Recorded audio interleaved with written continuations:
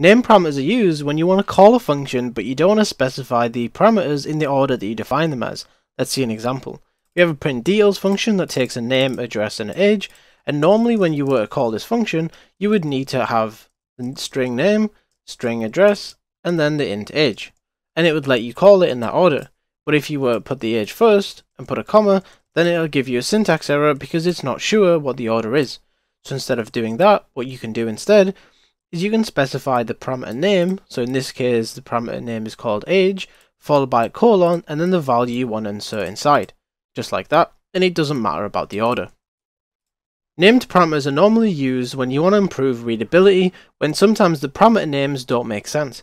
In this case, you have age, address, and name, and it's pretty straightforward. Say you had something like save file, will override file, and you just had the function defined inside here. So when we go to use it in code, when we hit the brackets, we can actually see the parameter name says override file. And that's fine when we can actually see it and call it for the first time. And let's say we do want to override the file. But when you look back at that, or another developer looks back at that if you're working in a team, it just says save file true. And to me, that would mean, does true mean that it will save the file? And false means it won't save the file? That's slightly confusing. What you can do instead is you could say override file and then you could define true. So now when you see that, you say you want to save the file and you do indeed want to override it because it's true. And in other cases, you might have a function here that has override as false. But you can see very easily that these two are distinguished by the fact that I've specified the parameter and you can read it and it makes sense. When you're first calling the function, I will agree that it makes no sense for the name parameters just because you can read what the parameter is called. But for future readability and maintainability of code, which is very important when you're working on projects, on your own or within an organization, it's very key to have readable code. So having a parameter like this, which doesn't make much sense, is very difficult to work with, but this is easy. Even if you've named the parameter accordingly as we have in this case, it might be hard to understand for people in the future. So let's just have a quick recap. If you have a function defined like this, you can specify a string name, string address, and int age.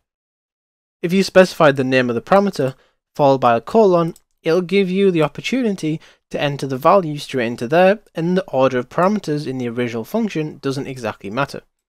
In the case of print details, it doesn't matter because name, address, and age are quite apparent what they mean.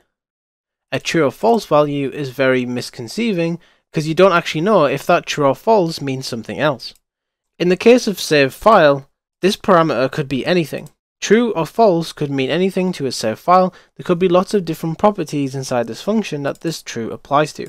In the case of what we're using it for, it's actually overriding the file.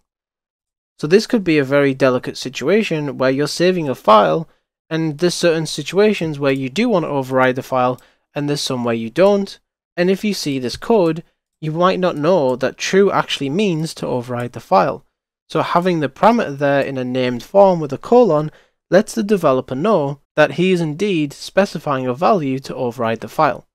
And like I said previously, this is mainly for big projects or even just looking back at your code after several weeks of not developing.